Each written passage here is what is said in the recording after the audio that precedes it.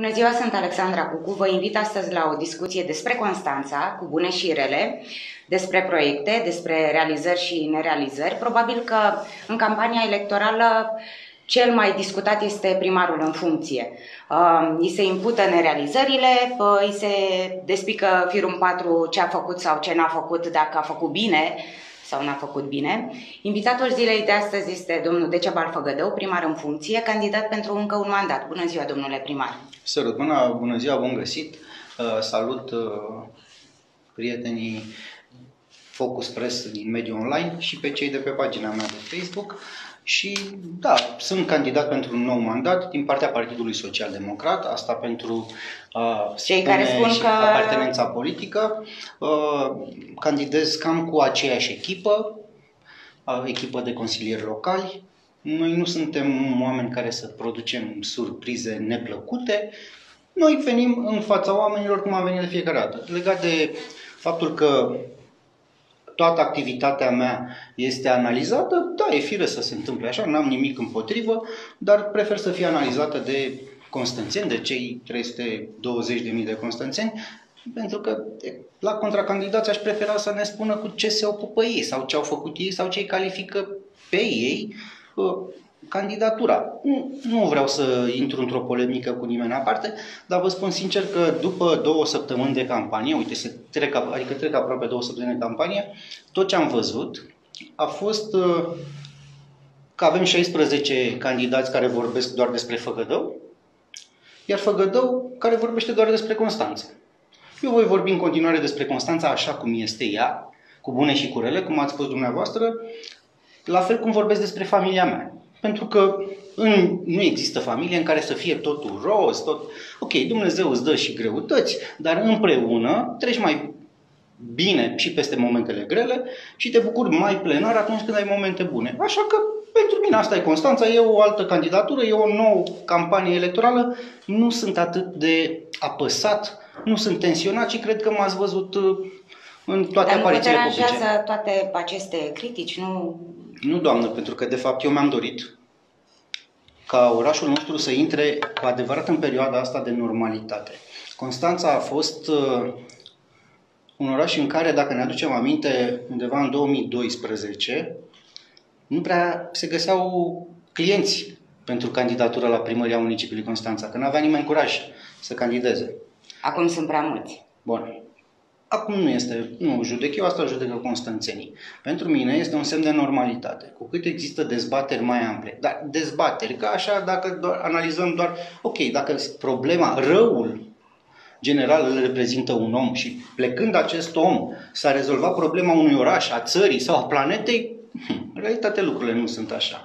Mă uit și uh, văd că după un mandat în care m-am luptat să dau voci cât mai multe și cât mai puternice opoziției societății civile, lucrul acesta, iată, cu toate că este greu de uh, digerat pentru un politician, lucrul acesta se întâmplă.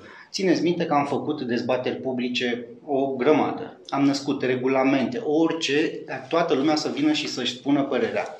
Toate documentațiile urbanistice atât de controversate, de parcă toți constanțenii ar construi blocuri, dintr-o dată toți am devenit specialiști și ușor, ușor, după dezbateri în care nu ascultam decât argumente viscerale, au început să apară și opinii pertinente. Mă bucur să văd că după patru ani de mandat au început să existe dezbateri din ce în ce mai profesionalizate. Evident că există un public care participă la toate dezbaterile, indiferent de ce ai face, el este pe hate, noi suntem contra, dar au început să apară și specialiști care ușor, ușor dau soluții, pentru că de fapt asta mă interesează. Și vreau să vă spun ceva. Eu aș accepta ca orice proiect al unui candidat care este dorit de constanțeni, să-l iau și să-l implementez. Doar că vă aduc aminte că în acești patru ani eu nu am avut niciun proiect din partea opoziției, cu toate că le-am dat, le-am cedat conducerea a două comisii de specialitate din cadrul Consiliului Local. Îmi pare rău să vă întrerup, dar uh, au fost proiecte Da, au fost, vă spun eu. Uh, reabilitarea scările. unor scări de la da. plaja modernă. Ok, asta adică vi se să pare fim, un... Uh, da, da. să spunem că și opoziția Doamne. a avut inițiative. Asta vi se pare că este o inițiativă? Ai 10 consilieri locali și vorbești despre niște scări. În momentul de nu, față... Asta înseamnă că nu sunt zero inițiative, că au avut inițiative. Bun. Eu vorbesc despre proiecte, eu nu am zis de inițiativă, eu am vorbit despre proiecte. Repararea scărilor, mie nu mi se pare că este un proiect în sine. Eu vorbesc, nu am zis că nu au avut inițiativă, au făcut, au avut multe inițiative. Unele dintre ele nici nu erau scrise corecte, dar trecem peste asta. Eu vorbesc despre proiecte. Orice candidat vine cu un proiect serios, eu sunt dispus să-l preiau și să îl implementez. Dar până una alta am văzut că multe din proiectele pe care am încercat să le fac pentru oraș au fost blocate. Vă dau exemplu cu stadionul. Dar până să ajungem la stadion, haideți să vorbim puțin despre uh, ce s-a Orice. întâmplat astăzi la City Bus, că ați avut conferință de presă și să nu trecem așa nemarcat evenimentul și acum în cadrul acestui interviu. Ce s-a întâmplat astăzi la City Bus ține de normalitate, normalitatea în vremea lui Făgădău. Exact asta înseamnă normalitatea în vremea lui Făgădău. Asta Pentru că eu notez. în 2016, flota City Bus era compusă din autobuze vechi de 15 ani, poluante, Euro 2, Euro 3, și care, ca o mașină veche, începuseră să înghită din ce în ce mai mulți bani în reparații. Cine are mașină veche știe. În acel moment am, aveam, a, mai mult, aveam datorii la ANAF, 5 milioane de euro, ba nu, 28 de milioane de lei, ca să vorbim concret. 1600 de lei salariul șoferului, toată lumea nemulțumită, și constanțenii de serviciul de transport, și angajații, și primăria, toată lumea nemulțumită. Și am luat-o pe un drum. În loc să mergem spre un faliment, sechestrul era pus pe tot de către ANAF. Ne-am asumat o reorganizare și astăzi, după patru ani de zile, avem City Bus, o companie care are contract cu municipiul, este compania Constanțenilor, este o societate pe acțiune, o societate închisă, este a noastră, a Constanțenilor, o companie care se circumscrie directivelor europene și legislației naționale. Avem contract care prevede foarte clar obligațiile și drepturile părților, dar care contract este născut de la ce ar trebui să-și dorească consumatorii, clienții, pasagerii. Întrucât acest contract a fost unul destul de laborios, inclusiv avizul Consiliului Concurenței l-am obținut pentru el, în anul 2019 a fost primul an în care am operat cu acest mandat.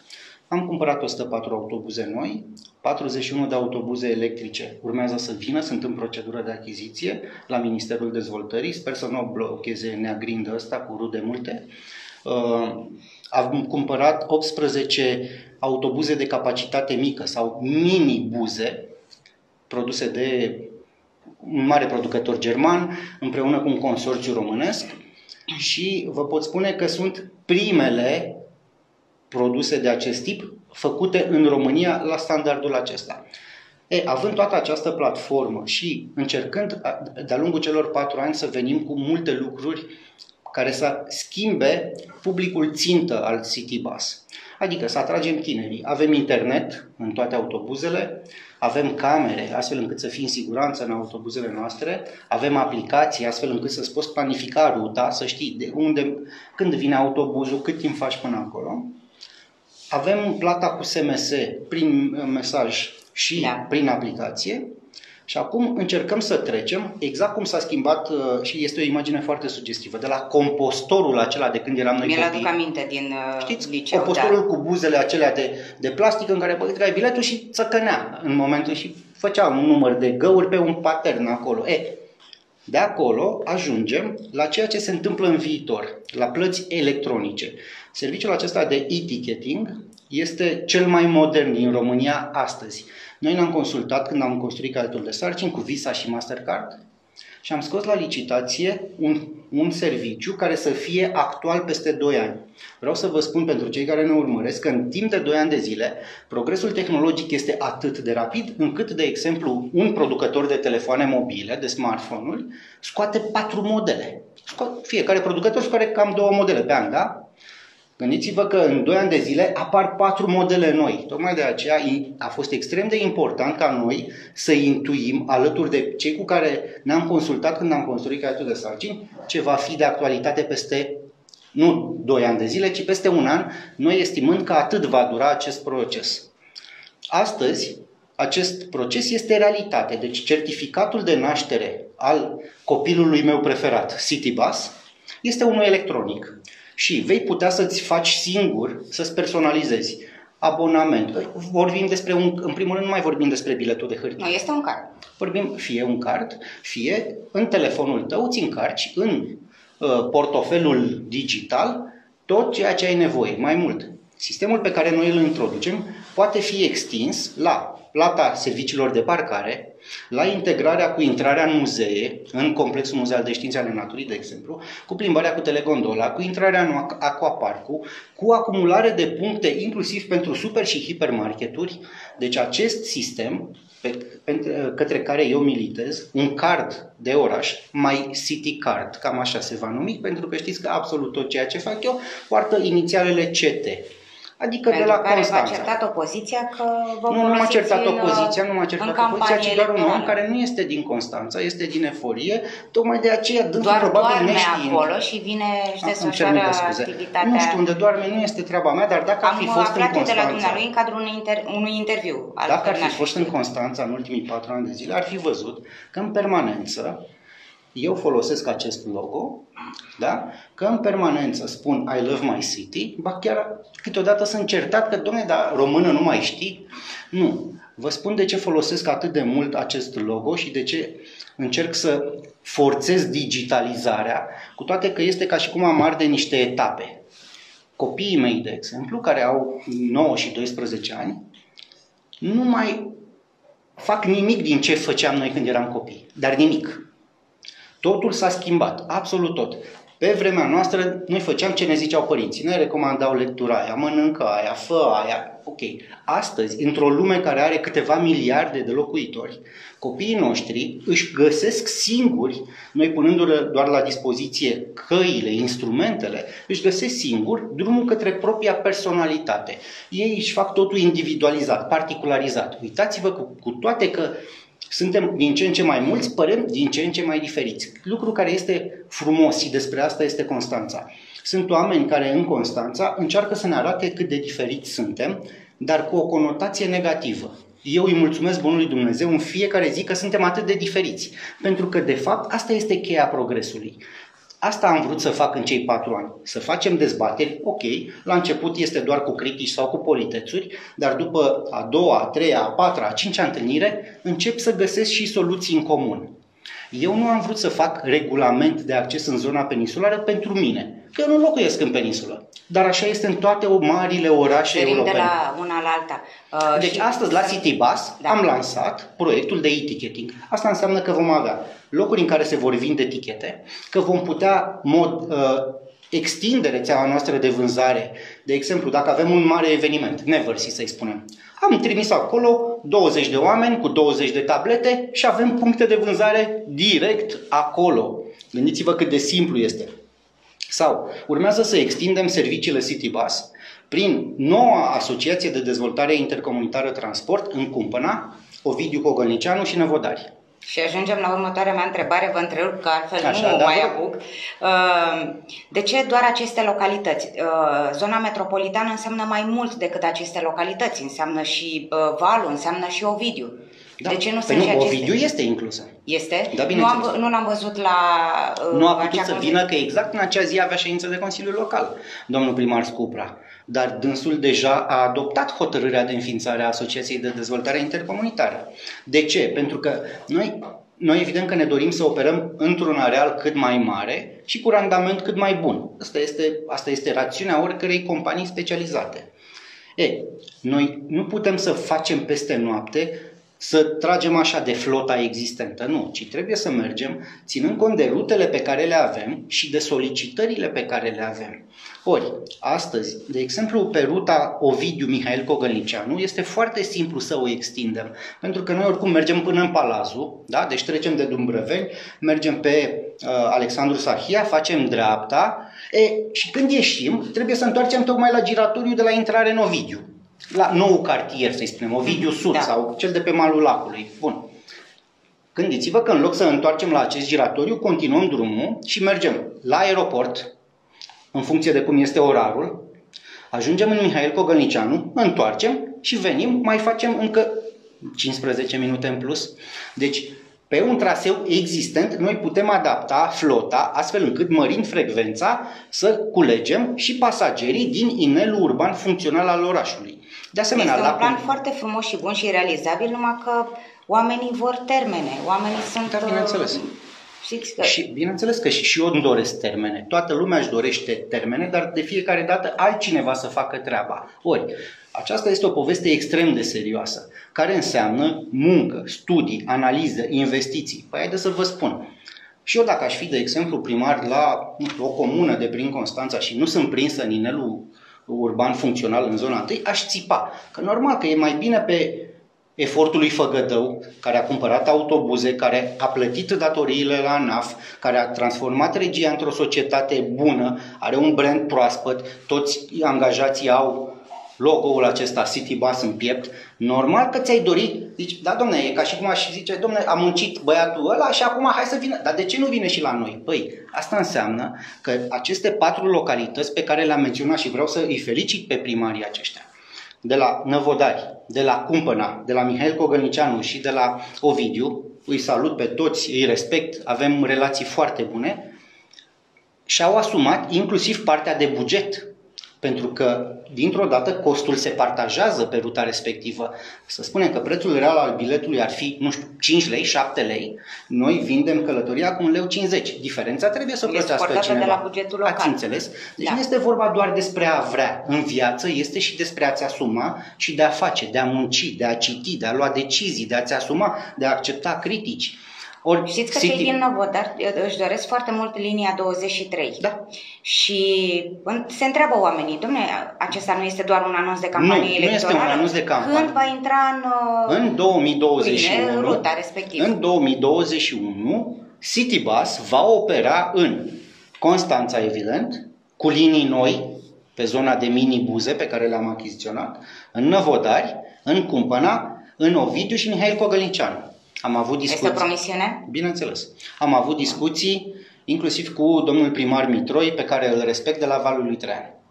Acolo și, ce s-a întâmplat? Și am explicat, nu, nu că nu dorește, Doamne ferește, cum să bat dorește. Doar că i-am explicat că în momentul de față nu ne ajută infrastructura rutieră și nu ne ajută distanța mare între, să-i spunem, ultima stație de la noi și prima stație de la dânsul.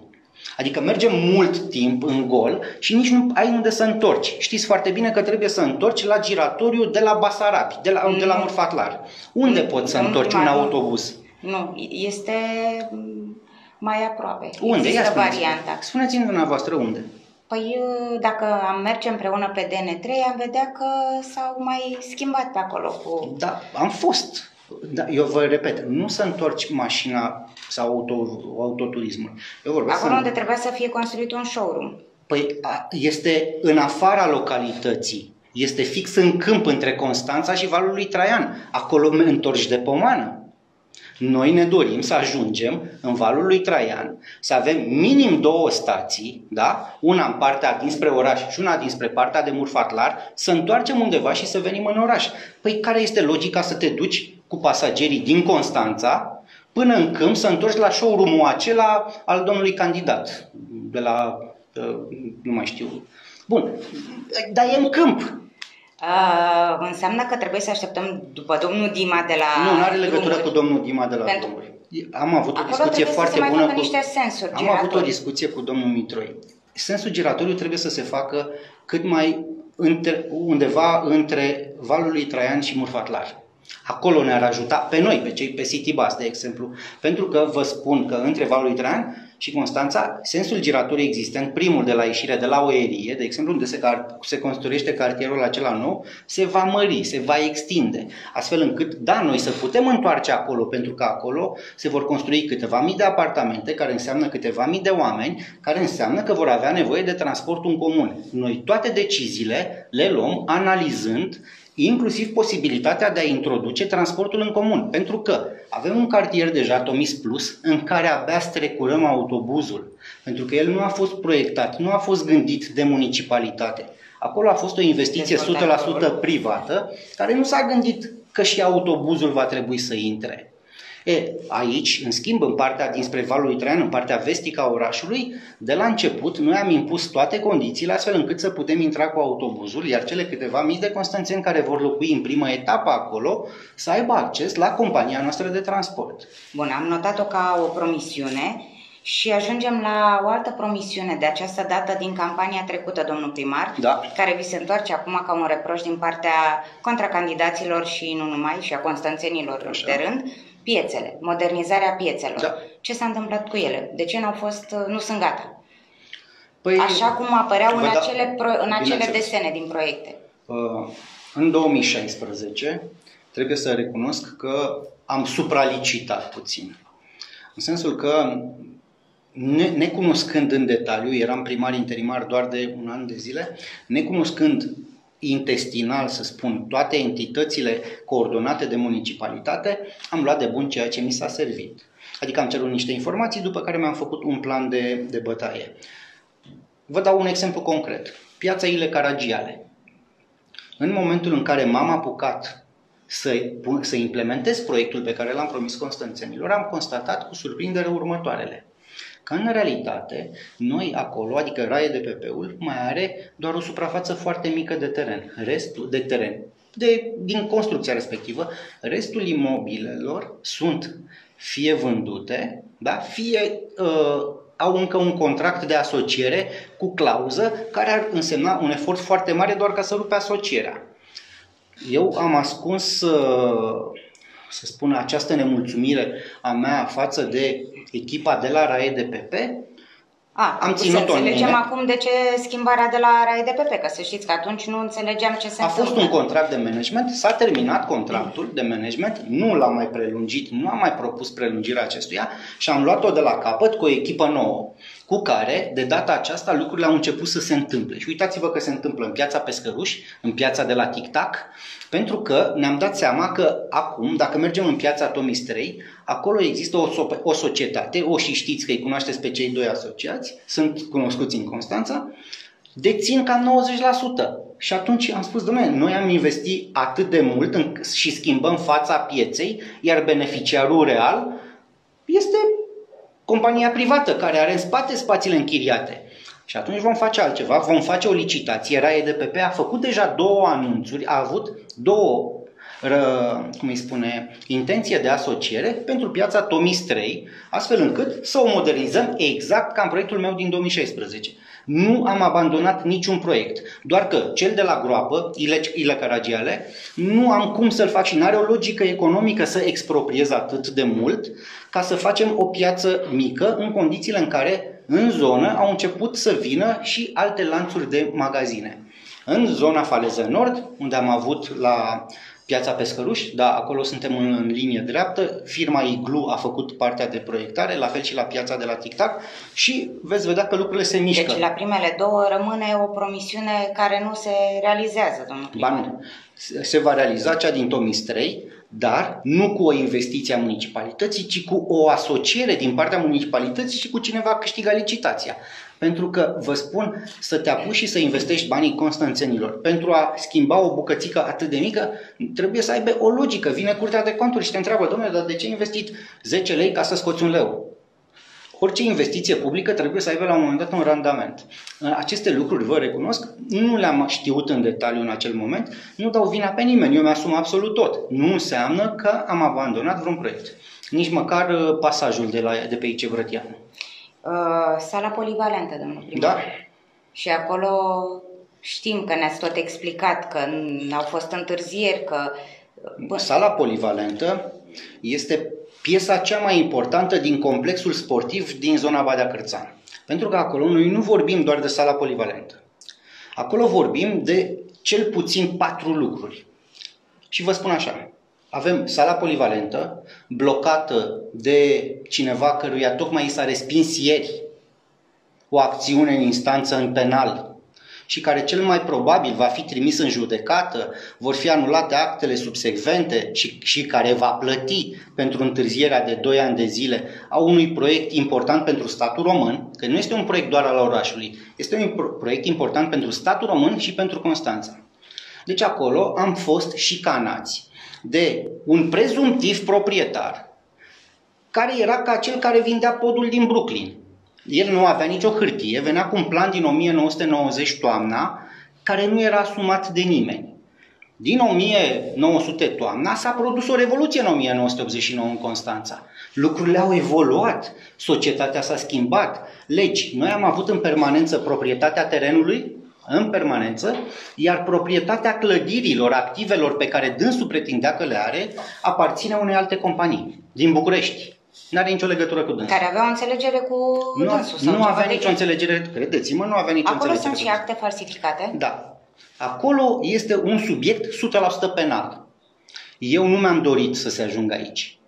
I-am transmis să-și vadă de treabă. Acolo nu s-a distrus nicio bază sportivă pentru că nu era înscrisă în niciun registru al bazelor sportive. Dânsul a fost încântat de niște venetici politici, și le spun venetici că nu sunt de aici, de pe la noi, adică v-am zis că nu locuiesc în oraș. E, ca ușor, ușor lucrurile să ajungă într-un subiect politic, într-un subiect electoral. S-a dorit o, un blocaj ca fă, să-i spun așa, Făgădău nu a fost în stare să facă sala polivalentă. Exact asta spun Bun. contracandidații. E, tot, vedeți? La sala polivalentă se lucrează, în, lucrurile sunt în toi. Este un munte, atât a rezultat, credeți-mă, un munte de pământ pe care l-am scos, facem fundație, va fi una dintre cele mai moderne săli de sport din România, dimensionată de către specialiști, nu de către, de către habarniști care își dau cu părerea pe social media. Deci acolo, Federația Română de Handbal, Federația Română de Basket, Federația Română de Volei, Federația de Gimnastică, Federația de Gimnastică Aerobică, Federația de Tenis de Câmp, pentru că vom face și, teren, și uh, meciuri de tenis de câmp indoor, Federația Română de Tenis de Masă, Federațiile Sporturilor de Contact, Comitetul Olimpic Român, toți și-au dat, toți specialiștii și-au dat cu părerea despre capacitatea și dimensiunea sălii noastre. Acum, vă întreb, Care este prea mică, după cum se comentează și nu va intra în uh, anumite circuite competiționale. Deci, mă bucur că avem atât de mulți specialiști că doar în Constanța se construiește odată la două zile cât o satelă polivalentă. Eu îi întreb de ce nu s-a făcut nimic atâta timp, că de la sala sporturilor, care este construită în centrul Constanței și unde nu prea i-am văzut pe cei care comentează să se înghesuie la meciuri. Acolo avem capacitate 1200-1400 de locuri și niciodată nu e plină. De ce dacă ai o sală de 1200-1400 de locuri care nu e plină, dintr-o dată este mică una de 5000 de locuri? Întreb și eu așa. A fost plină, vă spun eu. Dar nu e nimic, lăsați că A vor fost- veni alții au și vor fost face pline. ei, vor Să știți face. Că, uh, că am fost la niște meciuri și era sala aceea plină. Am da, fost. da. Uh, Când? La niște meciuri K1. Când? Acum câțiva ani. Când? Era, e, nu mai știu exact anul. Acum câțiva ani. În mandatul meu? Nu. Bun. Eu vă, vă întreb pentru că sunt curios. În ultimii patru ani am investit cât n-a investit niciun primar în sportul constanțean. M-am luptat și am adus acasă stadionul de pe, Badea- de pe primăverii. Prima dată vo- uh, liberalii au votat împotrivă, la ca să ne această aducem sală, aminte. La această sală, să știți că ați nemulțumit, uh, stăteam de vorbă Da, cu niște da. mămici și îmi spuneau că și copiii lor unde se mai duc? Să La facă Faru. sport. La Faru. Și de, de ce să se trezească lângă blocuri cu, nu știu ce, o legendă urbană, un alt bloc, o Da, altă da. construcție? E- e- Știți că e, exista și această discuție, că acolo se va Da, doamnă, eu știu foarte bine ce a mințit acel domn. Credeți-mă că va plăti pentru toate minciunile acelea, vă asigur. Va plăti pentru toate minciunile acestea. Nu a plătit niciun leu niciodată Constanței. Deci nu a plătit niciun leu niciodată la Serviciul Public de Impozite și Pe cum Taxe. să nu, dacă are o firmă dacă, sau o Doamne, asociație doamne, sau nu, ce are nu el, există înregistrat la menționat. Serviciul Public de Impozite și Taxe. Nu există. Păi și cum a fost tolerat atâția ani? N-a văzut nimeni că el este la o, are o bază La noi sportivă? figura o societate din București care își plătea an de an dările, care își făcea raport de evaluare, raport de reevaluare, deci municipiul și-a încasat banii, dar și i-a încasat de la o companie din București, care și acea companie i-a făcut în momentul de față plângere penală domnului. Ce să Că, vezi? uh, dacă spuneți așa, poate Deci, lăsa compania respectivă. Terenul a fost din totdeauna al municipiului, extras de carte funciară de la Oficiul de Cadastru și Publicitate Imobiliară, iar activele au fost întotdeauna înregistrate la noi pe numele unei societăți din București, care și-a plătit întotdeauna taxele și impozitele. Acest domn care a cumpărat pe firma dânsului și a vândut pe persoană fizică și de pe persoană fizică și a vândut la clubul lui, și a vândut și a tranzacționat podul din Brooklyn. Credeți-mă, toate acele acte sunt false, sunt nule de drept și nu a plătit niciun leu niciodată Constanței. Bun, dacă toți suntem în zonă, am început, avea, avem sala polivalentă, avem bazin de not, avem stadionul de Ruibi, stadionul din Badea Cârțan, unde liberalii au votat împotrivă să-l aducem de la Ministerul uh, Tineretului și Sporturilor și spun lucrul acesta răspicat, pentru că astăzi se duc și filmează pe acolo și uite ce rău arată. Păi da, arată rău, pentru că voi, de rea credință, ați blocat să aducem acasă ceva ce nu ia făgădău, ce aparține Constanței. Deci liberalii au votat împotriva Constanței, punct, în permanență. Au votat împotriva Constanței și la stadionul Badea Cârțan și la baza Triunghi și au votat și prima dată la stadionul Faru, la uh, stadionul Gheorghe Hagi, ca așa da. poartă denumirea în acte. A doua oară abia a trecut proiectul, sau au trecut proiectele, după ce au votat doi domni consilieri, dacă vă aduceți aminte și le voi mulțumi de fiecare dată, domnului consilier Rezeanu și domnului consilier Victor Constantin, care au fost ulterior excluși de liberali. Partid, da. Păi ăștia sunt liberalii. Acum că, în fine, așa, într-adevăr, așa au stat lucrurile. Dar au fost votate aceste proiecte și în continuare arată rău acolo. Unde arată rău acolo? În, la aceste baze la, sportive, la care, pe păi, care, despre puțin. care spuneți că la, se duc și le nu, votează Constanței i-a fost dat doar stadionul de pe strada primăverii. Badea Cârțan încă nu ne-a fost dat, și uite, invit guvernul, dacă vreți să faceți ceva mai liberal, vorbiți cu ministrul vostru, băiatul în chiloți, să ne dea stadionul de rugby. Vorbiți cu ministrul vostru, ok, cu incidentul nefericit, ca să vă citez, să ne dea baza triunghi. Vorbiți cu ministrul vostru să ne dea și Aia sala sporturilor. Grozat, domnul primar, că mai mergeam și Să ne dea clubul acolo. sportiv Faru Constanța. Să dea bani cluburilor pe care le are. Pentru că Făgădău a finanțat toate sporturile, a premiat sportivii care au făcut performanță și la, la un loc cu antrenorii care au ajutat să facă performanță. Deci... A, domnul primar, de ce uh, avea nevoie Farul de bani? Ciprian Marica avea nevoie de bani? Ce întrebare. Știu că... Totuși, este un investitor care a zis că vine și face Bun. și... Nu mai comentez, vă las pe dumneavoastră. Când vorbești despre fotbal, avem câteva lucruri pe, de, pe care trebuie să le luăm în considerare. Primul, echipa de suflet a Constanțenilor e Farul Constanța. Ne place, nu ne place, noi așa toți ne-am născut Farul. 2.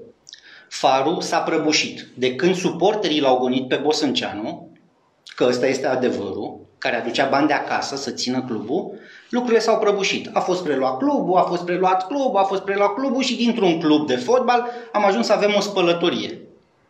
Lumea n-a țipat atâta timp. Domne, nu, lucrurile astea parcă s-au întâmplat ieri. Nu, lucrurile astea s-au întâmplat în timp. Stadionul de pe primăverii s-a transformat în ani de zile într-o, într-o groapă de gunoi.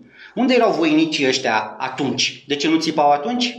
A venit Făgădău, a demolat spălătoria și a adus stadionul acasă și a început să facă lucruri.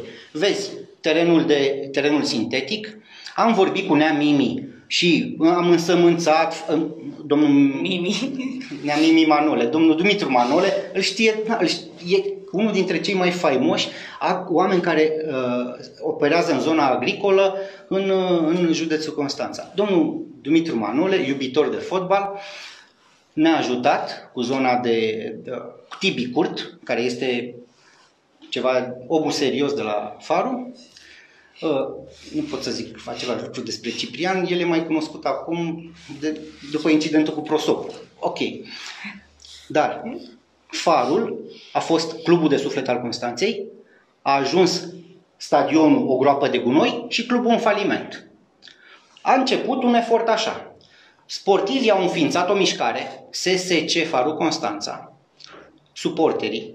Noi i-am ajutat să promoveze din Liga 3 în Liga 2, dar între timp Marica a cumpărat de la lichidator sigla, palmaresul și nu știu ce, lui Fece Faru. Și dintr-o dată ne-am trezit că din ce n-aveam niciun faru, aveam două acum. I-am lăsat să se certe între ei și le-am zis, când aveți un proiect serios, putem să ne așezăm la masă. Între timp, vă recunosc că am avut discuții și cu Gică Hagi, pe care îl respect maxim. Pentru că omul acesta a fost doar folosit de politicieni și, în realitate, el tot ce a făcut, a făcut de unul singur, în câmp, la o video acolo. M-am simțit extrem de mândru când a cerut ca atunci când a câștigat campionatul cu FC Viitorul, cel care înmânează trofeul să fie primarul Constanței, pentru că întotdeauna a spus că viitorul este din Constanța, viitorul Constanței. Așa că astăzi noi avem două echipe. Una pe care o finanțăm, de fapt o cofinanțăm. FC Farul, care este a lui Ciprian, dar am înțeles că n-a terminat încă nu știu ce litigiu, și doi, viitorul. Eu îmi doresc ca pe noul stadion, ca pe noul stadion, vă spun imediat de ce, ca pe noul stadion să joace ambele echipe. Pentru că eu mi-aș dori ca la noi să fie cum este la Barcelona. Joacă și FC Barcelona și Espanyol. Sau ca la Madrid. Avem și Atletico și Real. Sau ca la Milano. Avem și AC Milan și Inter. Deci Constanța, după seceta asta în fotbal, noi care am avut tradiție în fotbal, avem apetit să mergem la meciurile celor două echipe. Și invit pe constanțeni să fie alături de cele două echipe. La subiectul fotbal e cam așa. A, și al treilea lucru pe care nu vi l-am zis despre fotbal este că toți cei care au finanțat din sistemul public echipe și și-au luat echipele cum ar veni la primărie sau la Consiliul Județean, nu au sfârșit bine, au sfârșit uh, rău, să zic așa. Au ajuns la DNA. La DNA, Să la dea închisoare. explicații sau... Bun. Noi am făcut toate lucrurile transparent. Și uh, nu era ciudat să nu finanțăm fotbalul atâta vreme cât noi ne-am dorit să aducem infrastructură și să construim stadion de fotbal. Vă spun, toată lumea spunea, dai prea mulți bani la handbal. Păi facem sală polivalentă. Ce, ce meciuri credeți că se desfășoară înăuntru? De handbal. Dai bani la basket. Păi avem meciuri de basket. La volei. Păi avem volei. Dacă vă uitați, noi am finanțat structura și sub, uh, infrastructura, deci sala polivalentă și toate sporturile care ar putea să, se desf- să-și desfășoare activitatea acolo. Că dacă nu finanțezi sporturile, nu apare nimic. Și ai făcut o sală polivalentă și o ții goală. Ce facem cu ea? O facem mall? La fel cu stadionul de fotbal. Facem stadionul de fotbal și dacă nu avem echipă, ce facem cu el? Facem doar concerte? Că nu merge așa. Tocmai asta, acesta este motivul pentru care am preluat stadionul de fotbal și finanțăm și echipa de fotbal. Dacă echipa, dacă aș putea să finanțez și viitorul, aș finanța și viitorul. Și, uh, bun, ok, să zicem că am înțeles de ce dați bani, deci, deși rămâne așa cu tot cu semne de întrebare. Dacă este un investitor care și-a asumat că ia echipa, că se ocupă el de ea, de ce trebuie Păi, să sprijinim? din și același noi? motiv pentru care domnul Boc finanțează echipa din Cluj. Din, acela, din același motiv pentru care uh, Buzău finanțează echipa din Buzău. Ați spus din Cluj. același motiv, Ați spus din Cluj. același motiv pentru care Arad finanțează echipa din Arad. Vreți să vă dau un print screen după ce spunea Nu știu, fostul dar eu primar? preiau, toate am preluat așa din uh, comentariile oamenilor pe, pe tocmai asta chestiunile vă zic. acestea. Păi noi, dacă vrem să fie ca la Arad, păi uite, am făcut ca, Ca la Arad. Cluj, v-ați Ca la spus Cluj. Cluj. Am făcut la fel ca la Cluj. Cu toate că, eu vă spun ceva, noi nu suntem în competiție cu nimeni. Că se face comparația asta. Nu, mă, nici nu mă interesează că se face comparația. Vă spun ceva. În 2018 mi-aș fi dorit, și avusesem discuții în acest sens, să facem un gest simbolic și să facem o frățire între Constanța și Cluj-Napoca. Așa, la un nivel simbolic. Da, uh, se discută iarăși despre încă un Încă complex. ceva. Eu cu domnul, Exportiv. cu domnul primar Emil Boc, pe care, pe care îl salut și îl respect. La fel și cu domnul Ilie Bolojan, la fel cu toți primarii de mari municipii, ne cunoaștem și lucrăm împreună. Nu doar ne facem poze în campanie. Noi ne cunoaștem, eu sunt vicepreședinte la Asociația Municipiilor din România, sunt membru titular în Comitetul European al Regiunilor și mă cunosc foarte bine și domnul Boc și domnul Bolojan, mă știu cei cu care își face poză uh, Am să vă domnul spun de la la final Eforie. că am, am numărat în gând câte săgeți ați trimis contra candidatului de la PNL. Nu, nu, eu sper să Și să ajungă vă- la adevăratul candidat, la domnul Gabriel Comănescu. Ah. Nu. Are o Este- predilecție Vă pentru rog oamenii frumos. din eforie. Da, în regulă, Deci dar să mai nu bine mai îl vorbim- lăsa să nu pe vorbim Gigi despre Chiru, alte persoane credeți-mă, care nu mai candidează. bine îl lăsa Este- pe Gigi Chiru să candideze la eforie și poate lucrurile la eforie ar fi fost mai bune. Dar știți că același lucru l-a spus și domnul Claudiu Palas, cred că aveți o înțelegere cu dumnealui, că și așa se discută că Adevărul este e că- adevărul e că să o știți- înțelegere a dumneavoastră, ba cu dânsul, ba cu, Stel, cu domnul Stelian Ion. Ați avut discuții? Aveți deci, înțelegeri? Asta, asta, pot, să, pot să zâmbesc? Știți că de obicei eu nu prea zâmbesc și îmi reproșează toată lumea lucrul acesta, inclusiv mama. Deci, Claudiu Palas în 2016 a tipărit 200 de mii de ziare pe care le-a dat în campania electorală în care m-a făcut țândări. Claudiu Palas are identitatea proprie, partidul propriu. Pentru că noi am avut o înțelegere pentru a asigura funcționarea orașului vreme de patru ani de zile, nu înseamnă că noi facem înțelegeri La nivelul masă. Consiliului Local. La nivelul Consiliului Local, punct. Deci noi am avut o înțelegere pentru a funcționa lucrurile la nivelul Consiliului Local și nu întotdeauna pe... ci unde eu sunt împotrivă, sunt împotrivă. Unde au amendament argumentat, ok, au dreptate. Deci așa a funcționat. Totul a fost extrem de onest și extrem de transparent. În campania electorală, în schimb, permiteți-mi să nu fiu de acord cu modul în care își face campanie Claudiu Palas. Nu am nicio înțelegere pe sub masă, nici cu dânsul, cu nimeni. Nu am nevoie de înțelegeri. Deci credeți-mă că doar oamenii care sunt atât de mici, precum vedeți, au nevoie de să vină cineva și să-i ridice, să-i ridice așa ca pe niște marionete, că așa sunt obișnuiți. În schimb, ei aruncă cu ceva în ventilator, spunând că alții sunt de fapt marionete. Nu. În realitate, pe cine ați văzut dumneavoastră că s-a urcat pe navă și încercând să facă o inimă, da? Ca asta, și a ieșit un cap pătrat, acel cineva are nevoie de oameni care să-l ridice, să spună ceva despre el. Pentru că nu știe nicio stradă în Constanța, nu știu când a fost ultima oară la o instituție de cultură în Constanța. Pentru că domnul Comănescu nu locuiește de fapt în Constanța. Domnul vă rog frumos, vorbim despre domnul Chițac. Nu vorbim nu, despre... vorbim despre candidatul domnului candidat. Comănescu. Nu putem să ne exprimăm Deci așa. Partidul Național Liberal din 2012 încoace nu și-a pus candidat. De fiecare dată, la alegerile locale, și-a pus candidat domnul Comănescu. Cu subiect și predicat vă spun lucrul acesta. Dați-mi voie să vă spun că nu este corect să vorbiți așa despre cineva care nu candidează. N-are treabă. Păi nu tocmai este asta să... spun. Eu nu-i permit acestui Richelieu al politicii constanțene, care de fi, din 4 în 4 ani apare la locale și aruncă milioane de euro, ba face televiziune unde nu prea plătește pe sfârșit angajații, Că asta face de fiecare dată. Ba, ă, în momentul ăla, la pucă dragostea de oraș. Eu nu doresc să intru, Doamne, să fiu dar... nevoită după aceea să iau puncte de vedere și să cer Dar puteți să luați ce puncte de vedere doriți. Dar nu vreau, Sunt nu vreau convins că vom ajunge subiect. în instanță. Sunt convins. Eu Atunci nu, sunt, eu nu sunt un procesoman. Dar sunt convins, nu, sunt convins că mă va da dânsul. A, ah, în regulă. Da? Trecem eu tocmai asta am încercat despre... să fac. Domnul Comunescu, nu mai sta domnule ascuns în spate, vino în față. Dacă Domnul vrei să faci politică, nu-ți permit să arunci cu tot ceea ce arunci în mine și în familia mea, în partidul meu, doar la locale, că după, când iese bine, ai prieteni în PSD cu care îți faci treburile. Deci dacă vrei politică, vino în față, fii bărbat, nu-ți mai tot pune marionete. Vino să ne luptăm. Deci, dacă doriți, Eu vorbesc cu domnul Gabriel Comănescu nu, în acest moment. dacă doriți, vor, ă, altă dată vorbim despre așa ceva. Dar după campania electorală, acum continuăm cu complexul sportiv. Nu avea ce căuta uh, discuția de mai devreme în, uh, în cadrul acestui Vă interviu. Vă certați. Îmi cer mii de scuze uh, pentru... Noul, noul uh, un alt proiect legat de un complex sportiv, da. uh, despre care iar se spune că este doar un desen pe hârtie, la fel cum a fost uh, partea cu piețele și da, că doamne, până e, una e alta uitați, nu este, este proiectul un... dumneavoastră, este ceva de la Compania Națională de Investiții Bun. cu care veniți în fața și... Uh, Adevărul e că să știți că întotdeauna cineva de la București stă așa, se scarpină în cap și zice, băi, ce să mai facem noi la Constanța? Nu mai pot tăia din București de dorul nostru al constanțenilor, de aia vreme de 30 de ani, din păcatele, de aia vreme de 30 regional. de ani ne-au stors, ne-au muls și n-au dat nimic înapoi Constanței, indiferent de guvernare. Ca asta a fost atitudinea Bucureștiului față de Constanța.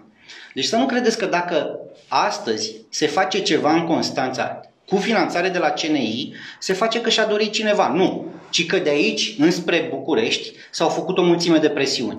Și da, Astăzi, complexul sportiv de pe primă, din primăverii, cu stadionul de fotbal uh, Gică Hagi, cu arena centrală de tenis Simona Halep, sunt pe lista de sinteză a Companiei Naționale de Investiții, pentru că exact asta am făcut, am făcut drumuri Constanța-București până când au ajuns pe listă. La fel s-a întâmplat și cu cazinoul, la fel s-a întâmplat și cu sala polivalentă, la fel s-a întâmplat și cu uh, sinagoga, Întrebați-l pe Sorin Lucian Ionescu, Știu, președintele... dar acel proiect uh, cred că nu se va mai Ba duce da, se la va bun face. sfârșit, pentru că stă de 2 ani uh, Pentru la... că acestea sunt procedurile. Licitație, licitația se anulează. Gândiți-vă cât am stat cu cazinoul. La orice obiectiv este fix aceeași procedură. Deci, vă rog să mă credeți că nimeni de la București nu stă să se gândească ce să facă la Constanța. Ba nu, se, se mai gândesc din când în când așa. Să ne oprească apa caldă, să ne închidă groapa de gunoi, să ne mărească prețul la gigacalorie. Doar asta se întâmplă. Asta, uh, vă întreb imediat de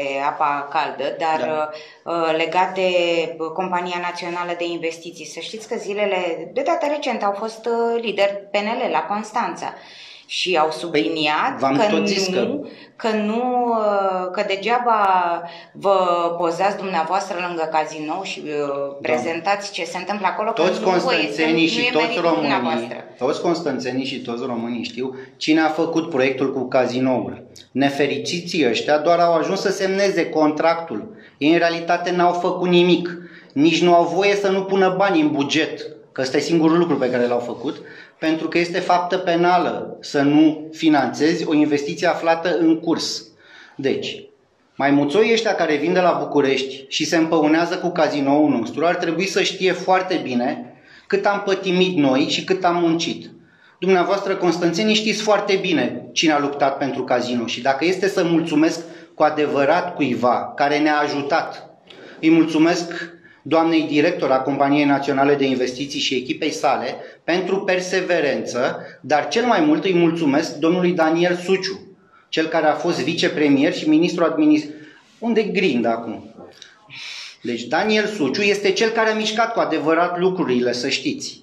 Adică Pentru- a făcut, uh, a făcut cineva posibil. de la București ceva pentru Constanța. Nu e de la, Bă- nu e de la București, candidează la St. George Bay și îi doresc mult Mă rog, la succes. București, din, uh, un Din, guvern din la guvern, un moment exact, dat. da. Da, da dintr-un da, guvern. Întâmplător dintr-un guvern al Partidului Social Democrat. Același Nici guvern de cum băieții PSD, ăștia. domnul primar, care nu a rezolvat uh, partea cu spitalul regional. Știu că nu sună frumos ce spun, dar Mm. uh, chiar nu, nu e, n-a fost în regulă tot ce s-a întâmplat. Da, e adevărat. Da, e adevărat lucrul acesta și pot să vă spun că, din ce știu eu, guvernul nu și-a asumat niciodată un spital regional la Constanța. Acesta a fost mai mult un subiect împins de politicieni de la Constanța înspre București. Lăsați-mă să vă spun exact cum stă situația. Noi i-am forțat pe cei de la București să vorbească de un spital regional la Constanța, el nefiind, în realitate, prins în scripte. Mai mult, când am văzut că nu se întâmplă lucrul acesta, a, a apărut o inițiativă legislativă a domnului senator Moga, care ulterior a fost îmbunătățită, modificată și îmbunătățită, că avea niște lipsuri, astfel încât astăzi avem o lege pentru înființarea la Constanța a unui spital militar regional care să se numească Carol I. Nu este la Sere unde propunea inițial uh, echipa Consiliului Județean, ci este în altă parte, pe un teren care aparține deja structurii Ministerului de Interne, unde există reglementare urbanistică, unde avem toate ingredientele. O să vă zic la momentul respectiv, nu vreau să vorbesc despre ceva ce nu ține de mine, pentru că legea încă nu a fost promulgată, a fost atacată de către președinte și sperăm ca după ce se întoarce și legea să intre în forță, să se treacă la treabă, să se întâmple acest spital. Dar până se întâmplă spitalul militar, pentru că să nu uităm, noi ne aflăm într-o regiune extrem de importantă din punct de vedere uh, strategic și al apărării.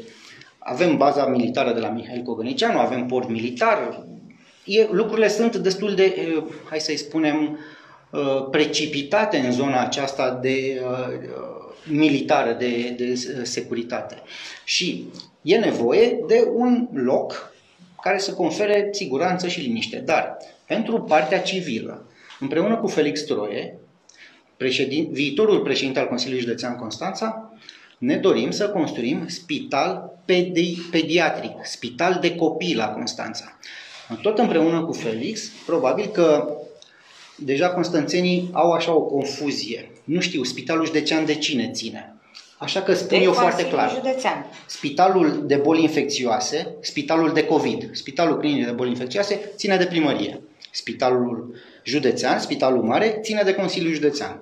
Acolo s-au făcut multe renovări pe multe secții, dar mai sunt încă lucruri de făcut. Deci Felix Troie va finaliza de modernizat Spitalul Județean și împreună, orașul și județul, vom construi spital de pediatrie. Cine îl construiește până la urmă? În parteneriat, nu, în parteneriat, în parteneriat, primăria cu Consiliul Județean și fie atragem fonduri europene, fie luăm împrumut de la Banca Europeană de Reconstrucție și Dezvoltare pentru că municipiul Constanța are gradul de îndatorare foarte mic. Făgădău nu am promutat orașul, nu am promutat constanțenii. Liberalii sunt ăștia care uh, fac datorii. Uitați-vă la ce face Câțu.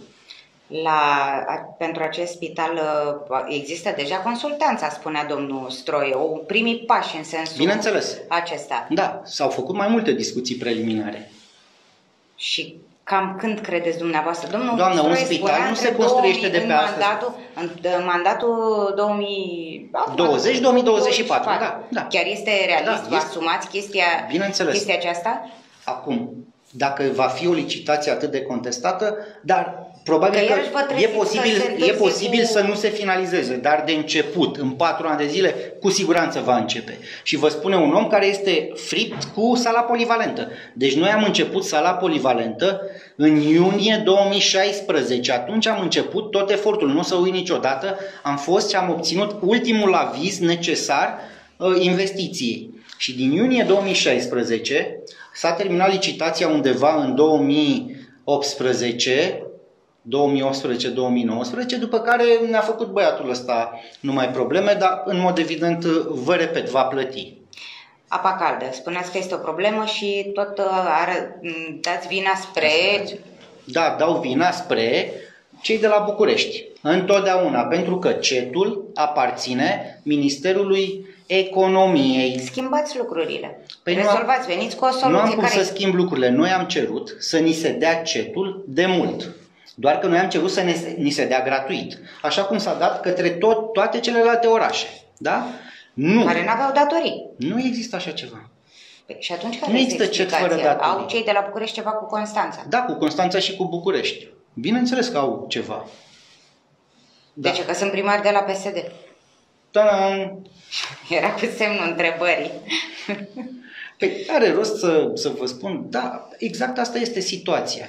Au încercat să facă, și probabil că o vor face, o șicană din punct de vedere al apei calde, au încercat să o facă pe partea de mediu. Și au făcut ei tantamul de rigoare cu, în port, în, la așa zisa groapă de gunoi, unde în realitate constanțenii, pe banii constanțenilor, câștigă teren din mare și fac o rambleiere crește teritoriul țării care se concesionează companiei naționale Administrația Porturilor Maritime Constanța. Deci noi pe banii noștri mărim teritoriul țării, avem zero beneficii, iar ăștia de la București, în loc să ne zică mulțumim, dragi constanțeni, au venit să ne amendeze. Pe pentru că nu Asta face neapostel ăsta sau cum îl cheamă pe ministrul mediului. Acolo era vorba de deci, poluare, acolo nu se depozitau deșeuri care, ă, așa cum ar fi trebuit. Am urmărit tot ce s-a spus și ce s-a comunicat și de la Ministerul Mediului și de la uh, Compania Națională Porturile Maritime Mesa Constanța. Foarte bine. Ați făcut foarte bine, v-ați informat din surse oficiale, doar că de multe ori eu nu cred în sănătatea mentală a multora dintre băieții ăștia, pentru că să vă spun ceva. Acum câteva zile au trimis un control direcționat la groapa de gunoi de la Ovidiu, la Tracon. Da? Da. unde are legături domnul senator Moga. Cred, nici nu mă interesează cine are, nici nu mă interesează cine are Sunt legături. domn fost uh, prefect. Bun. Și au Așa am citit în presă. Nu? Da, doamnă, ok. Au trimis control să închidă groapa de gunoi. Deci vă dați seama, e, e deja de notorietate șantajul pe care l-a făcut băiatul ăsta Costel de la mediu asupra primarilor ca să treacă pesediștii răi la PNL. Să, bun, cam același lucru l-au făcut și la CET. Am uitat să vă spun. imagine acolo, am uitat să vă spun. rău. Doamne, am uitat să vă spun ceva. Și la CET au făcut la fel. Au zis, domne, noi te ținem pe funcție, domnule director, dar vino și tu la noi. Și am înțeles că dia, ă, domnul director de la CET, împreună cu 100 de oameni, ce să facă oamenii ca să-și țină serviciu, au trecut la PNL. Bun. Deci eu vorbesc de groapa de gunoi de la Tracon. Nu erau, la, nu erau la PSD. Nu erau. Noi n-am făcut asta niciodată la groapa de gunoi de la Ovidiu, să o închizi înseamnă să lași Constanța în gunoi. Când? În plină pandemie, înainte să înceapă școala și cu un sezon turistic care, slavă Domnului, se încăpățânează să nu se termine. Și îi mulțumesc Bunului Dumnezeu că nu se termină și că mai avem și noi ceva. Că și așa băieții ăștia care ne conduc acum liberalii au reușit să scoată în stradă angajații din industria Horeca, din hoteluri, restaurante, cafenele, pentru că uitați-vă ce au reușit să facă. Nu vă spun eu mai multe, 40.000 de firme. E bine. Uitați-vă la, cât, la ce șomaj avem, un milion. Și da, eu sunt din Partidul Social Democrat. Dar ajută cei care organizează uh, evenimente de genul Neversi. Asta dacă tot ca să fie... Bun. Am văzut știrea ieri Revenim. și n-am, n-am Nu, au promis că o să ajute, ceea ce e o mare diferență. Deocamdată au și-au promis că vor da măști, nu le-am văzut. Au promis că vor da uh, tablete, nu le-am văzut, copiilor noștri. Am să fiu avocatul lor din nou. Uh, legat de măști, uh, bine că au spus că nu vor da pentru toată lumea, că, de exemplu, eu, dumneavoastră, ne permitem să cumpărăm măști pentru Dar este lege, ascultați-mă. Da? Nu, da, vă zic așa ca o explicație, chiar am întrebat. Deci eu am întrebat-o pe da. doamna Turcan când a venit la Constanța. Am întrebat-o. De ce nu pentru toată lumea?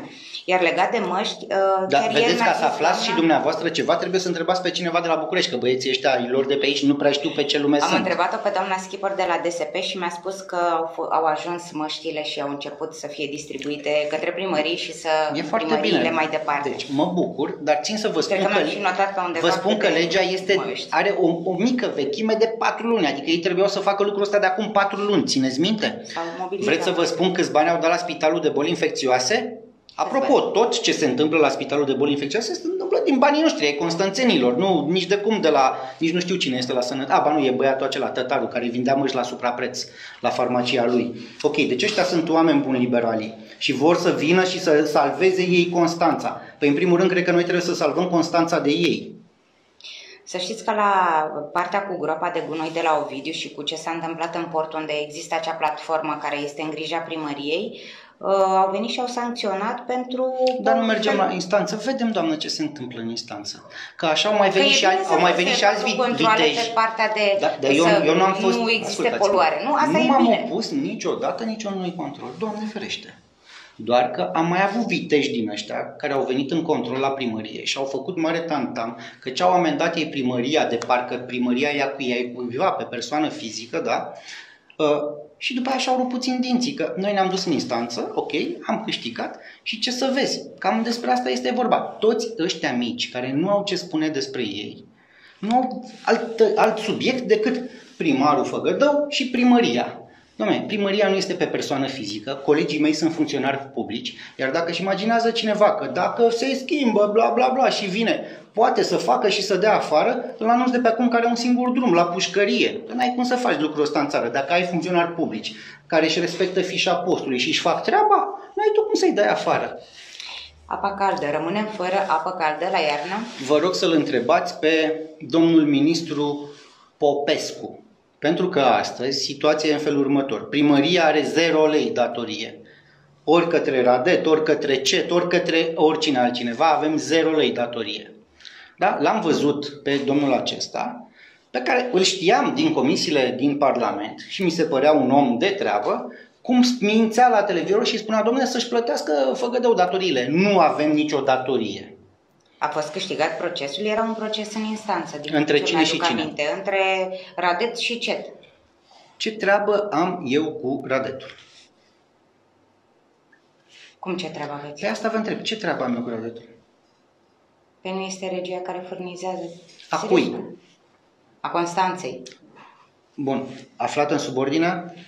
Nu este la primărie? Nu, a Consiliului Local. Deci, mă rog, au 10 consilieri locali, au 10 consilieri locali care puteau să salveze planeta. Le doresc ca în loc să-și facă proiecte, proiecte gen să măturăm scările, să salveze ei această regie. Dar nu vă puteți detașa de această regie, sunteți primar, nu? Adică nu poate fi doamne, tratat așa. credeți-mă, credeți-mă că eu știu exact ce am de făcut și constanțenii mă cunosc. Păi că spuneți-ne ca să... Că azi... Nu să spun, avem timp, ăsta este un subiect în care putem să vorbim patru nu ore doar soluția. Putem să vorbim patru ore doar soluția. Vă, vă repet, dacă știți, vreunul dintre, dacă știți vreunul dintre candidați care știe câte puncte termice avem, ce lungime au canalele termice ale municipalității, adică proprietatea orașului, Cele pentru distribuție, nu pentru transport. Cele pentru transport le-am cumpărat de la CET anul trecut și reducem pierderile. Pe atunci, dacă țineți minte, erau voci tot pe la băieții ăștia de la PNL care spuneau că nu e bine ce facem. Deci, Bun, deci eu există știu proiect, exact. Există... Da, doamnă, există ceea ce am anunțat și constanțenii știu bine ce am anunțat. Făgădău a făcut două lucruri, dragi constanțeni. Unu, a ținut gigacaloria la 250 de lei și doi, a scris proiect cu fonduri europene în valoare de 50 de milioane de euro care urmează să se depună acum. Ne-au întârziat Deci era- puțin băieții ăștia. Vedeți, nu era Deci greu să soluția, spuneți dar, dar de ce proiectul. să o spun în campanie electorală? Eu vă vorbesc de patru ani despre, pentru că, se- pentru că despre sunt sistemul proiectele, acesta. pentru că m, am să vă rog să spuneți și câteva dintre proiectele viitoare. Pentru că da, este campanie și pentru că Bun. da, se vorbește despre așa ceva. Dragi Constanțeni, vin în fața dumneavoastră și vă cer votul de încredere pentru mine, poziția 4 pe buletinul de vot. Pentru echipa mea, o știți deja, lista o deschide domnul viceprimar Costin Răsăuțeanu, pentru Felix Troie, președintele Consiliului Județean Constanța, și pentru echipa lui Felix Troie. De ce vă cer votul de încredere? Pentru că avem toate proiectele pe care le-am demarat. Nu am abandonat niciunul din cele uh, promise în 2016, niciunul. Nici cazinou, nici sala polivalentă, indiferent ce zic ăștia, lăsați-mă că ei doar vorbesc. Am asfaltat mai mult decât a asfaltat orice primar de dincoace de 1990 și îi rog pe cei care își amintesc, care locuiau pe niște ulițe, unde am făcut străzi de la zero, să-și imagineze cum era în 2016. Am extins sistemul de iluminat public, am făcut kilometri întregi de trotuare, am schimbat tot mobilierul urban, am construit dintr-o regie falimentară, RATC, o companie puternică, Citybus, autobuze noi, stații noi, veți vedea ce urmează, că într-o lună, două de zile veți vedea ce urmează și cu Citybus-ul și cu toată partea aceasta de, de mobilier urban aferent stațiilor. Uh, nu vreau să vă spun câte proiecte cu fonduri europene am, pentru că doar ce am astăzi în implementare înseamnă 51 de proiecte cu 925 de milioane de lei. 51 de proiecte, 925 de milioane de lei. Printre ele enumăr 25 de grădinițe școli licee, Bulevardul 1 decembrie Lăpușneanu până la intrare în stațiunea Mamaia, Bulevardul 1 mai până la ieșire înspre uh, Cumpăna Gigea, înseamnă peninsula de la Ferdinand, toate străzile rămase nefăcute până la casino, înseamnă Ștefan cel Mare cu străzile adiacente până la Bulevardul Ferdinand, înseamnă spitalul de pediatrie pe care îl vom construi împreună cu Felix Troie și Consiliul Județean, înseamnă reabilitarea teatrului, singurul teatru pe care îl are ca și clădire municipalitatea, teatrul Fost Fantasio, da, teatrul de stat, unde avem proiect cu fonduri europene, înseamnă, dacă vreți, pasajul de la Cumpenei, de la Butelii, de la podul de la Butelii, pasajul de pe aici Brătianu,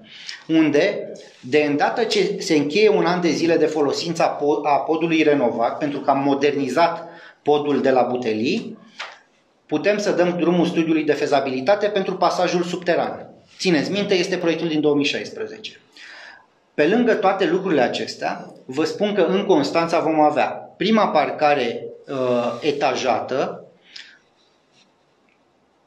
smart, adică inteligentă, va fi la Teatrul de Stat, între Teatrul de, strat, de Stat și e o cafenea în zona de centru, Universitatea de Marină Civilă, o clinică. Deci este o zonă unde noi am asfaltat în momentul de față, este o parcare existentă unde vom veni cu o parcare etajată smart și aici trebuie să-i mulțumesc lui Andrei Popescu, care a venit cu un amendament foarte mișto în urmă cu două sau trei ședințe de Consiliul Local.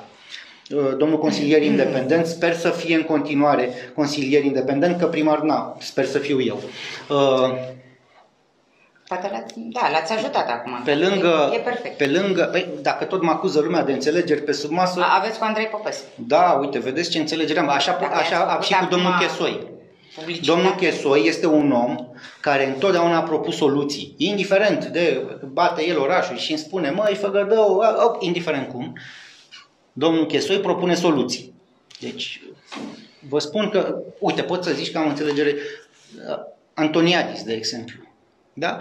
Tony e un tip atât de pozitiv și întotdeauna a venit cu ce poate face el, dar omul la concret, nu așa izmene pe călător.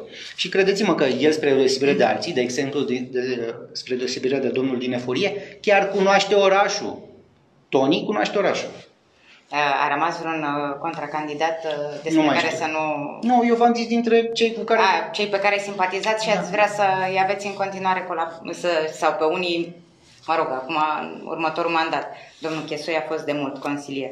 Ok, alte proiecte, că dacă tot uh, ați început să le spuneți de, asta, de viitor, Vreți nu să cele le care pe, sunt, pe toate... nu pe toate, că oricum stăm de oră. Bine, putem să vorbim trei ore. Sunt convinsă că avem subiecte de... Da, da pentru că, să vă spun ceva, spre deosebire de ceilalți care vin și spun bla bla bla, eu pot să vă vorbesc cu detalii și cu pasiune despre orice proiect. Dacă aș face o dezbatere cu cineva, ar părea aroganță, ar părea că m-am pregătit. Credeți-mă că eu știu toate cele 69 de școli cu personalitate juridică și cele... candidații vor dezbatere cu dumneavoastră. Și cele 30 de, de structuri ce aparțin celor 69 de școli.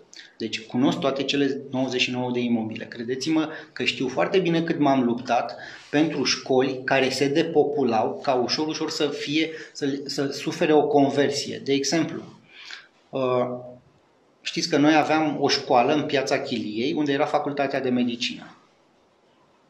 Țineți minte? Da. O închiriam da. noi, da. orașul, o închiria Universității Ovidius am rupt contractul de închiriere și am dat-o cu titlu gratuit universității. Deci rețineți, am renunțat la închiriere pentru că noi nu vrem banii de la universitate, noi vrem ca universitatea să crească. Și nu numai Universitatea Ovidius, Universitatea de Marină Civilă, Academia Navală Mircea cel Bătrân. Da, vedeți că aveți o reclamație că în uh, Medea s-a închis uh, o școală și copiii aceia merg foarte mult uh, pe jos pentru a ajunge la cursuri. Bun. Asupra... Urmează să meargă pe jos. Rețeaua școlară se aprobă de către Consiliul Local la propunerea inspectoratului. A, ați pasat-o la domnul de la PNL. Perfect. Nu am pasat-o, vă spun ce spune Și legea. să revenim câteva dintre proiectele de viitor. Dacă se poate, cele pe care, câteva care, despre care nu ați mai vorbit. Dacă se Dar de ce vreți să vă dau dumneavoastră așa exclusivități? Pentru că, na, eu le-am spus Pentru constanțenilor că, că că pe lângă lista celor 51 de proiecte, piețele, am spus spital de pediatrie, spitalul, S-a mai vorbit, domnul primar. spitalul clinic de boli infecțioase, avem proiect cu fonduri europene semnat. Deci avem proiect fonduri europene semnat. Am demolat toate construcțiile de jur împrejur, toate maghernițele de acolo, fostul crematoriu, fosta secție de anatomopatologie. Nu doriți să le spuneți?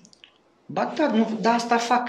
Deci eu de când am ascultat. venit, asta vă spun, vă vorbesc de sala polivalentă, vă vorbesc de complexul nu despre sportiv. ceva care eu v-am invitat acum, Doamnă, v-am rugat dacă se dacă poate s-ar ceva face, despre care ascultați-mă, nu, nu ați mai vorbit. puteți să-mi spuneți vreun mandat în care să se fi întâmplat toate lucrurile astea, pentru că eu vă zic, să semnezi 51 de contracte de finanțare.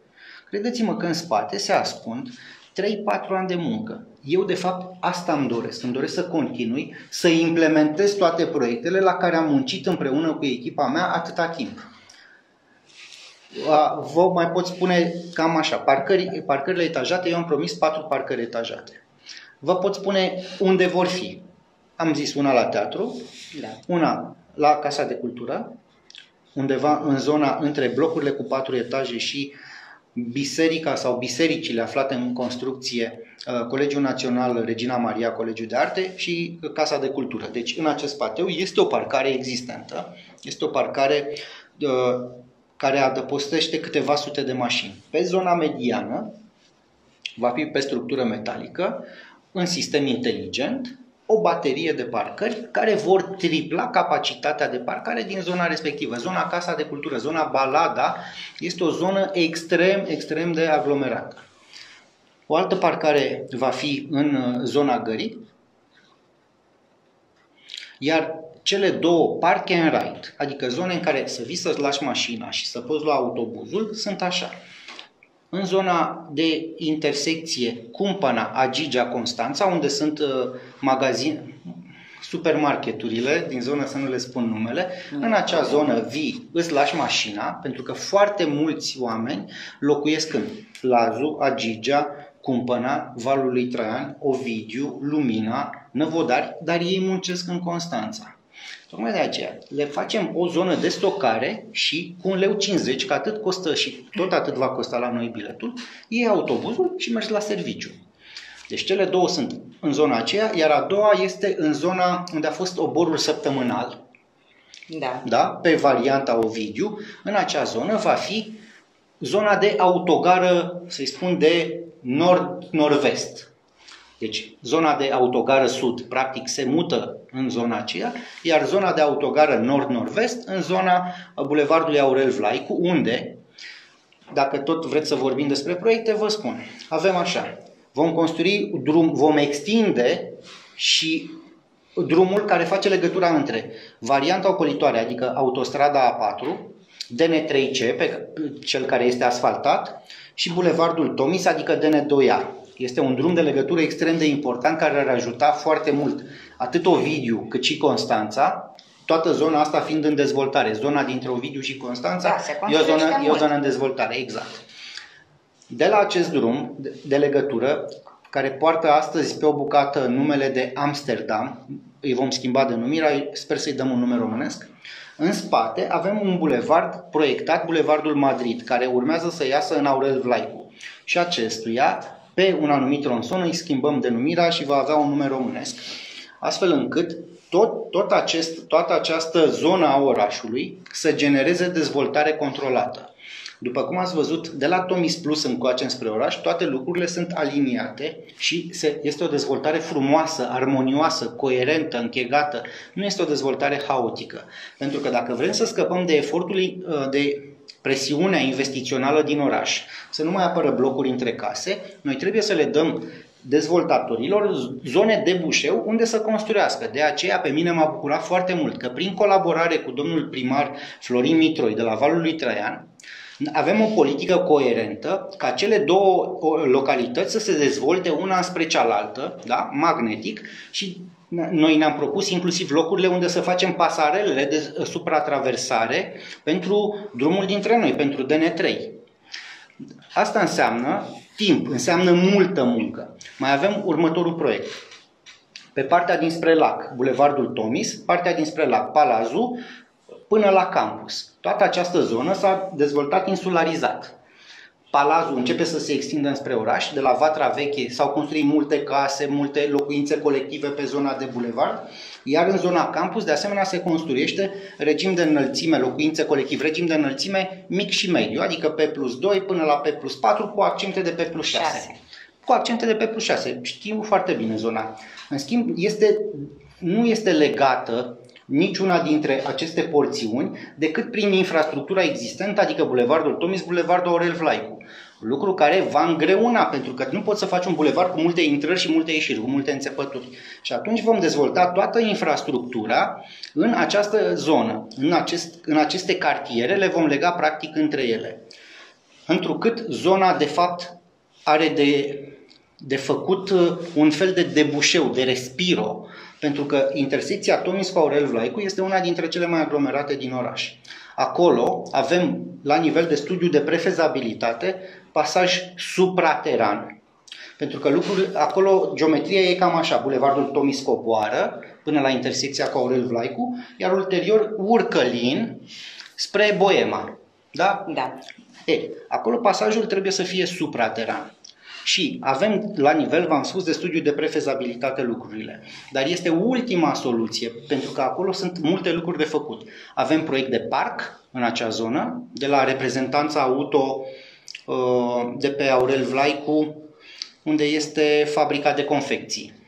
Nismod, dacă știți unde este Da, Nismod, da, da. lângă Nismod este o benzinărie și după benzinărie este o reprezentanță auto, să nu spun Mercedes, că ok, Păi ați spus mă deja taxați și pentru mis, reclamă. ați spus și merge de nu În văd. acea zonă, acolo, avem pregătită exproprierea pentru a construi, a, a face parc.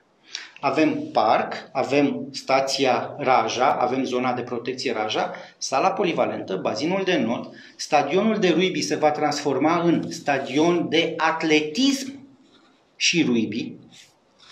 Deci stadion de atletism, pentru că astăzi atletismul se va muta de pe stadionul de pe Faru aici. Atletismul începe să aibă particularități, nu se mai combină cu alte sporturi, iar fotbalul trăiește de sine stădător, adică nu mai poți să ții lucrurile împreună. Toate stadioanele construite în România de după 1990 și care sunt la standarde europene sunt fără pistă de atletism toate stadioanele, uh, și cel de la Giurgiu, și cel de la Ploiești, nu mai spun de Arena Națională, Cluj. Ați spus chestiunea aceasta interesantă cu exproprierea și am să Ave, Am pregătite spun, mai multe exproprieri. Să știți că și lângă liderul cel nou, Așa. Există un teren pe care a apărut acum anunț de vânzare și unde sigur se vor construi... Care e liderul va... cel nou? Uh, cum coborâți podul uh, de la Dorali și mergeți spre, nu știu, cumpăna, spre unde vreți dumneavoastră. Știu, dar nu știu de ce îi spuneți cel nou. Cel nou așa a rămas, că a fost da. Nu, sunt mai multe magazinele din Așa Constanța este. și era... Cel nou era cel mai recent uh, făcut. Așa, și a apărut un anunț.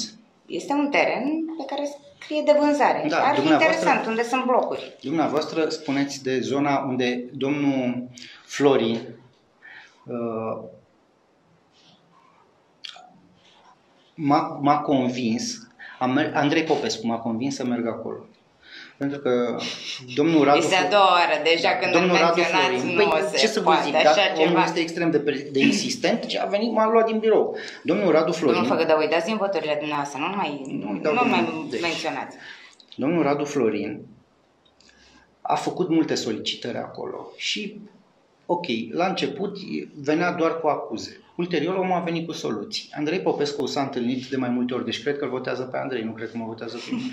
Uh, a venit și mi-a zis, domnule, omul are soluții. Haide să facem ceva, că într-adevăr îți place, nu îți place, zona arată rău. Groaznic. Bun.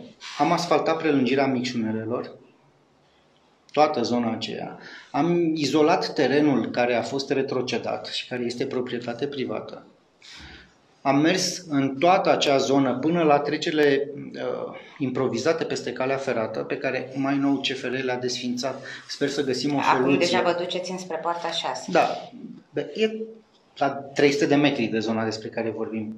Ce da, da, la zona despre care vorbim La zona despre care teren. vorbim este un teren, știu, este prelungirea Nicolae Grindeanu cu prelungirea Micșunelelor, știu foarte bine zona, credeți-mă, am fost acolo de mai multe ori. Așa, odată, văzut o... și blocul care se construiește? Da, odată o minunăție. Odată m-a, m-a m-a prins cu ghilimele de ligoare, domnul Radu Florin, am lăsat mașina, am parcat acolo și am coborât, mă uitam să văd cum au lucrat cei de la Confort Urban. De fiecare dată când lucrează, mă duc în spate să verific ce fac. Și a, a ieșit din curte așa și era, dar nu veniți la o cafea dumneavoastră să ziceți, asta să vară și asta și asta. Stai, stai, domnule, nu.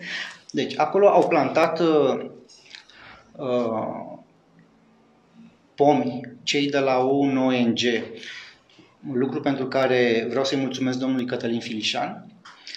Domnul Radu Florin are grijă de ei, îi udă în, în răstimpul în care vin colegii mei și, mai, și tu în Diarba, lucrurile s-au schimbat mult în bine. Cu terenul acesta nu vă pot face nicio promisiune pentru că el face parte din terenurile retrocedate, din decizia în altei curs de casație și justiție.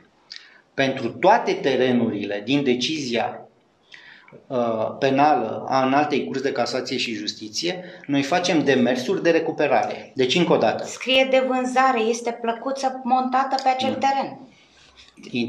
Ok. Poate că el își dorește să vândă. Să vedem dacă va, va și reuși. Pentru că astăzi am făcut două cereri de clarificare către înalta curte de casație și justiție și mai multe acțiuni prin care Ceea ce era evidențiat în mod expres în decizia în alte curs de casație și justiție a trecut înapoi în proprietatea municipiului Constanța. Deci avem un număr impresionant de terenuri care sunt în momentul de față obiectul acestui proces de revenire acasă. Bun. Deci uh, acest teren să... este unul dintre ele. Eu am învățat ceva. Acolo unde este o situație juridică complicată, nu te pronunța.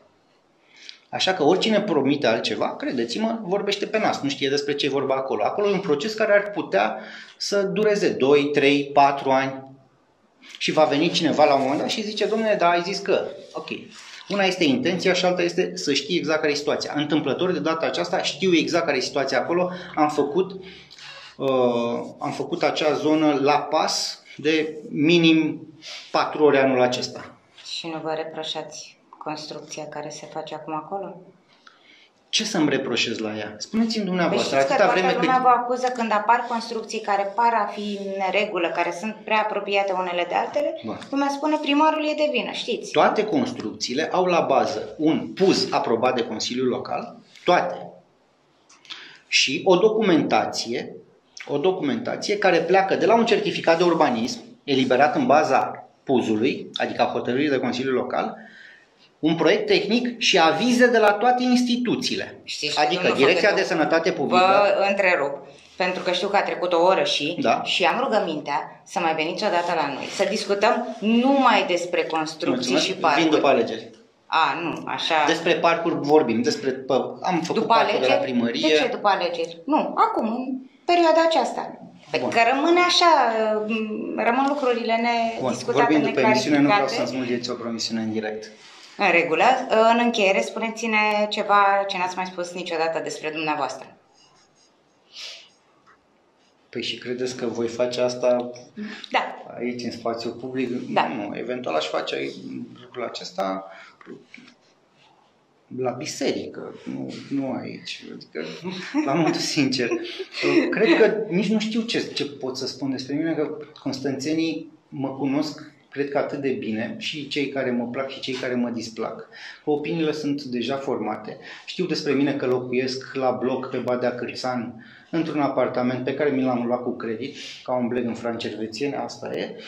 Uh, Nu mi-a dat nimeni nimic, am învățat, am muncit, am doi copii, sunt amândoi în sistemul public școlar, adică unul e trece a treia, unul trece a șaptea, că tot ce a fost de spus despre mine a fost analizat, a fost cercetat, a fost investigat, a fost cum vreți dumneavoastră, dar la sfârșitul zilei vă pot spune că după patru ani de mandat, astăzi despre Constanța se vorbește în termeni pozitivi. La Bruxelles, la Banca Mondială, la NATO, ambasadele cele mai importante de aici, de la noi, de la București, și că am avut în acest mandat, cred că, mai multe vizite și întâlniri cu ambasadori, cu miniștri, bă, vorbesc de cei din afara țării, uh, cu general NATO, cu oameni care ne-au vizitat orașul nostru, cu atât de multe vedete care au venit în orașul nostru, cât nu cred că s-a întâmplat vreodată după Revoluție. Nu știu dacă lucrul acesta contează sau nu, dar nu doar încrederea pe care o generez eu, ci încrederea pe care o generați dumneavoastră este cea care i-a adus aici. Orașul nostru este un oraș pe un drum bun. Orașul nostru este un oraș care crește. Nu vă uitați la ceea ce vă spun unii și alții. Gândiți-vă doar unde eram în urmă cu patru ani și unde suntem astăzi. Eu văd Constanța frumoasă, eu iubesc Constanța, eu spun lucrul acesta atât în română cât și în engleză, dar nu numai că o spun, eu o și demonstrez zi de zi prin ceea ce fac. Așa că, doamnelor și domnilor, vă mulțumesc mult de tot, vă aștept la vot în siguranță pe 27 septembrie. Vă cer un nou un vot de încredere pentru mine și pentru echipa mea. mulțumim frumos, Și vă eu. mulțumim, la revedere!